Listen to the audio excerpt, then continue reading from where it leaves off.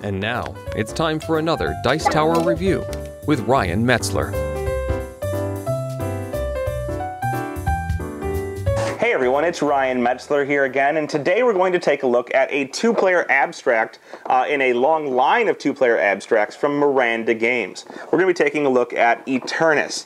Now, this game is pretty simple to play. It's going to be a play one piece and move on to the next player style of game in the line of Connect 4. But real quick, we'll show you how it's different from Connect 4. We'll go over the gameplay and the components, and then we'll come back here and we'll get my final opinion on it.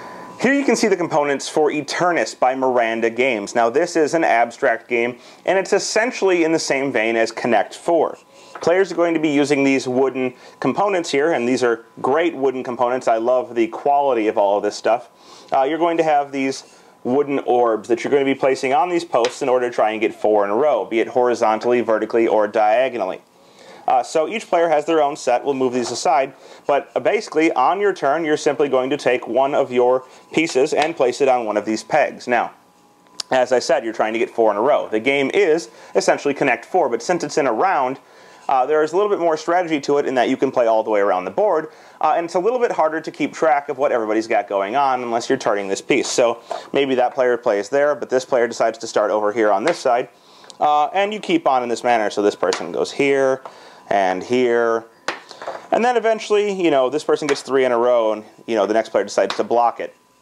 And it gets a little more complex from there because you start building up. So the green player builds here, uh, the white player can go back over there, and so forth and so on with green blocking here. And you keep on playing until you run out of pieces, and eventually you will run out of pieces or someone will win the game by getting four pieces in a row. If you run out of pieces before this happens, you're going to start taking pieces from the top of the rows. So, for example, if this were all full up with all of our pieces, you would be able to take one piece off of the top of the row and move it to the one of the other areas, essentially just removing one and replacing it until one player manages to get that four in a row. Once they do so, that player is immediately the winner and has won Eternas. And there you have it. That is Eternas. Now, as I said multiple times, the game is essentially Connect 4, but it's Connect 4 with some awesome components. I mean, most of the games in this line are so nice that they uh, would make great conversational pieces out on your coffee table, and this one is no exception.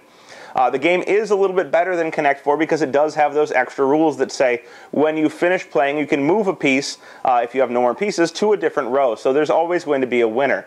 In addition to that, uh, it has that round aspect. So there's a few more choices of where to play, and there's a little bit of the, well, eternity, eternas, uh, option to it where you're playing around in a circle, and it's a little bit more difficult to watch sometimes.